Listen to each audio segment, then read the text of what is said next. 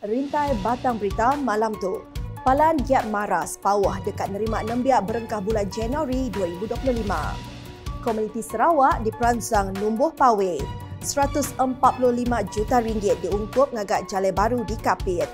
Projek RTP ngemanah rumah Franklin Guang di Sadang Tembuk digagak bulan Jun tu. Innovation cara bertanam tupik beras adan.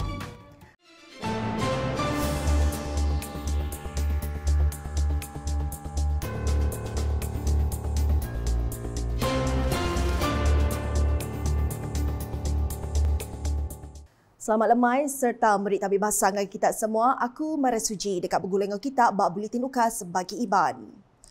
Palan latiah Giat Mara di sepawah di pelabak ke dekat nerima nembiak keterubah Manggai Januari tahun ti dekat datai. Sapir Premier Sarawak Dato' Ahmad Douglas Ugambas semada upir sebetanam betupiknya suba udah diadu baru lalu di kemana dikena nyadi. Palan latiah pengelandia enggau teknikal ke berungkus sepenyampau RM600,000. Kok ya palantu nyedia ke dua kos panda ianya elektrik, engau berjayat serta sitik kos panjai ianya pansir elektrik. Berbangunnya ia madah ke 26 biak dekat diterima tamak bak rengat keterubah arisita Bukit Saban Manggai tahun ti dekat datai. Ia berjakup menyinya udang ngulu randau penerang berkawal pengawak ngemanah ke upis pelilih Mates Power hari 6. Dato Ahmad Douglas megak madah palan tu dekat nempak awak ngagai nembiak ke empai bisik gawak nerima latiah pengelandia. Ya madah baru, nengah mayu bengkah aktiviti ekonomi Jemaila, bala nembiak bisik awak gawak dalam industri elektrik, pengawak berumah engau pemansang tanah. Komuniti di Sarawak diperansang ngagak peminta numbuh ke palan aktiviti orang tuai pawe bak genturung pendiau sida. Menteri Pemansang Induk Ruang Bilik Ngomen Siamayuh Datuk Seri Nancy Syukri Madah Medah Ari Sentang Geografi serta Pemesai Negeri Sarawak penyampau pawai ke bisik dia tu hendak cukup. Kok ya, nakak ke dia tu seminak bisik 13 pawai di Sarawak. Biasanya pawai ini ditubuhkan oleh masyarakat setempat. Jadi uh, komuniti dan kali ini satu parlimen boleh menubuh lebih satu daripada pawai. Dan apa berlaku di Fawai adalah pusat untuk mereka berkumpul, mengadakan aktiviti-aktiviti. Jadi satu uh, different area aktivitinya berbeza. Mungkin ada kalau orang Melayu lebih kepada aktiviti keagamaan, sosial, agama, berzikir, ya. things like that dan juga uh, ada uh, lebih kepada uh, sukan, rekreasi. Jadi dia merangkumi uh, different activity ada juga kalau lebih kepada wanita tu ramai yang mereka melibatkan diri dalam ekonomi. Uh, frozen food lah you know things like that. Jadi sebab itu kita menggalakkan agar mereka menumbuhkan pawai dan kami beri bantuan. Tapi mereka kena tubuh dulu. Ha? mereka kena tubuh dulu. Lepas itu uh, mereka memohon bantuan. Kita melihat kadar bantuan yang boleh diberi. Tidak melebihi uh, 100 uh, ribu setahun. Tidak not every year. Kalau dia tak minta, kita tak bagi. Sebab kita nak tahu sama mereka ini. Ia berjakup menyenyak bahawa media program bergulai dengan UPS Menteri Pemansang Induk, ruang bilik dengan Mensia Mayu KPWKM di Wisma Sabati Kuching hari 6. Datuk Seri Nancy Megamada pemintanya oleh dianjur ngagai UPS pengintu pengelantang Mensia Mayu JKM alai tiap parlimen di Kemendah muka lebih hari sitik pawai. Bisik 145 juta ringgit diungkup ke dikenak ngagak projek ngagak Jalan Nanga Kabah, SK Beguang, Sungai Suang.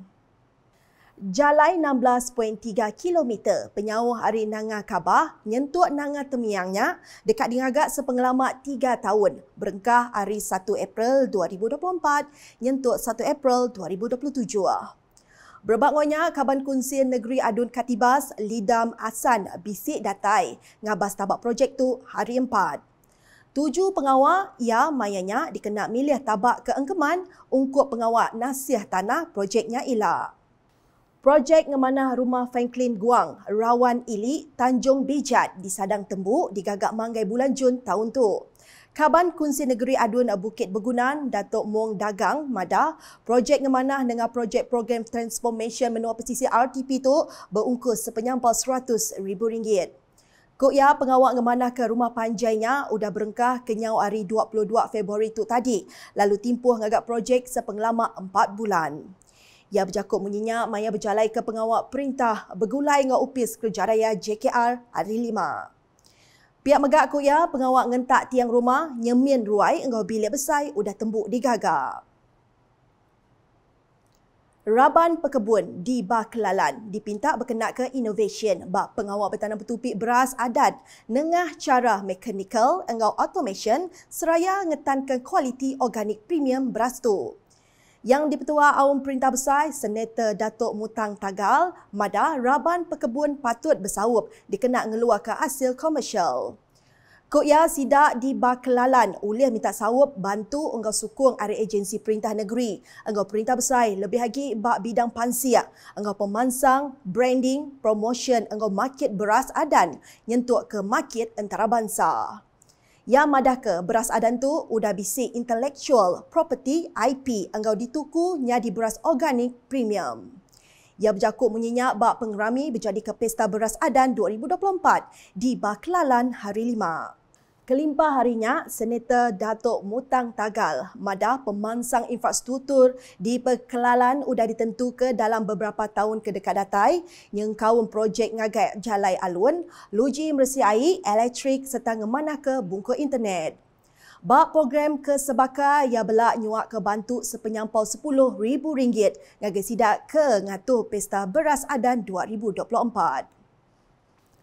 Nak tu dulu bulletin ukas Iban lemah itu bergulang aku Maria Suji. Sebedau ngujung ke berita, aram kita sama like, share dan follow semua platform media ukas yang kaum portal ukas.sarawak.gov.my angga ukas channel di YouTube penemu berita pemadu baru di Sarawak.